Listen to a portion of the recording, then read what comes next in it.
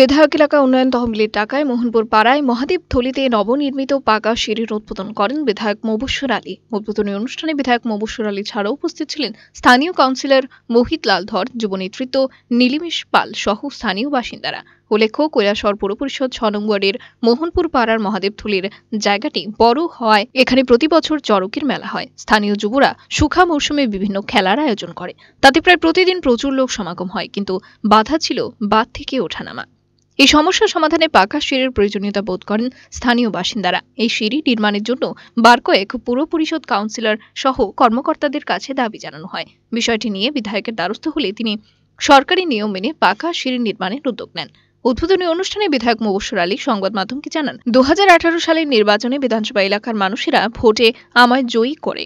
একজন বিধায়ক হিসেবে রাজ্য সরকারের নিয়ম মেনে মানুষের স্বার্থে কাজ করতে শুরু করি। বিধানসভা এলাকায় প্রায় চল্লিশটি উন্নয়ন কাজ হয়েছে। বিভিন্ন মন্দির, মসজিদ, ভক্তদের boundary wall, community hall, community trunk, স্নানাগার, নির্মাণ কাজ গুণমান বজায় রেখে শেষ করার চেষ্টা করেছি। সেলাই মেশিন, অ্যাম্বুলেন্স ও অক্সিজেন সিলিন্ডার দেওয়া হয়েছে। আমরা বিধায়ক এলাকা উন্নয়ন প্রকল্প থেকে কৈলাসহর পুর পরিষদের এই ছয় নং ওয়ার্ডের মোহনপুরের মহাদেবতলিতে ফাঁকা সিঁড়ি নির্মাণ করে দিয়েছি। প্রায় দু লক্ষ টাকার কাছাকাছি সেখানের মধ্যে ব্যয় হয়েছে। আপনারা জানেন যে দুই হাজার আঠেরো সালের বিধানসভা নির্বাচনে এই কৈলাসহর বিধানসভা এলাকার মানুষ এই এলাকার প্রতিনিধি হিসেবে আমাকে নির্বাচিত করে রাজ্য বিধানসভার মধ্যে পাঠিয়েছিলেন। এবং সেই নিরিখে একজন বিধায়ক হিসাবে রাজ্য সরকারের নিয়ম অনুসারে বিধায়ক এলাকা উন্নয়নের জন্য কিছু টাকা প্রতি বছর পাওয়া যায়।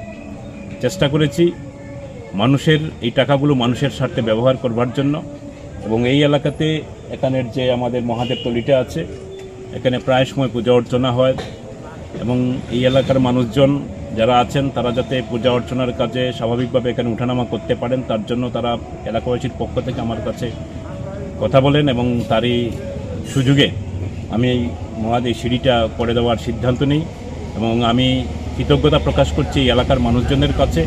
একদিকে যেমন তারা আমাকে এখান থেকে নির্বাচিত করে সেই সুযোগটা করে দিয়েছেন, দ্বিতীয়ত এই এলাকার উন্নয়নের কাজে নিজেকে সামিল করতে পেরে আমি এলাকার মানুষজনের কাছে কৃতজ্ঞতা প্রকাশ করছি। আমাদের এই bureau report, search India, TNN.